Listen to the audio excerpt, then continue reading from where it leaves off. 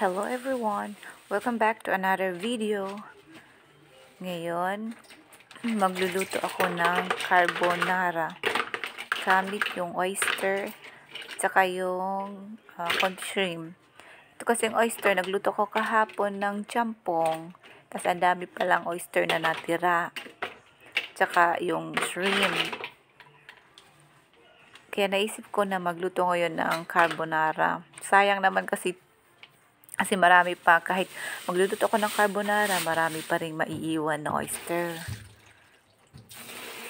Kaya gagamitin ko muna ito para sa carbonara. And then, gumawa din ako ng uh, sauce, cream sauce niya. Kasi, early in the morning, sarado pa yung mga, sarado pa yung uh, tindahan. Tsaka, ma medyo mahal, pricey siya. Tsaka konti lang. So, ako na lang ang gumawa dito. And then guys, please watch the video until the end. Kasi itong, itong recipe, simple lang siya. Very, very simple. Napakadali na gawin sa bahay. Kung may oyster ka man or wala, pwede rin gumamit ng bacon or ham or cheese na may mga natira sa bahay. Ngayon kasi, ang natira sa bahay is oyster at saka shrimp. So please guys, watch, please guys, watch, watch the video until the end para magkaroon kayo ng idea. Thank you! At saka pala, gumawa ako ng dalawang klase. Yung plain is para sa mga bata, tsaka yung may oyster sauce is para naman sa adult. Kasi minsan yung mga bata ayaw nila ng seafood or yung mga mix-mix-mix. Kaya gumawa ako ng dalawang klase. Yung noodles pala na gamit ko, yung natira din sa nagawa ko dati sa spaghetti ng mga bata. Sa mga hindi pa po nakasubscribe sa aking channel, please subscribe po and press the notification bell. Thank you.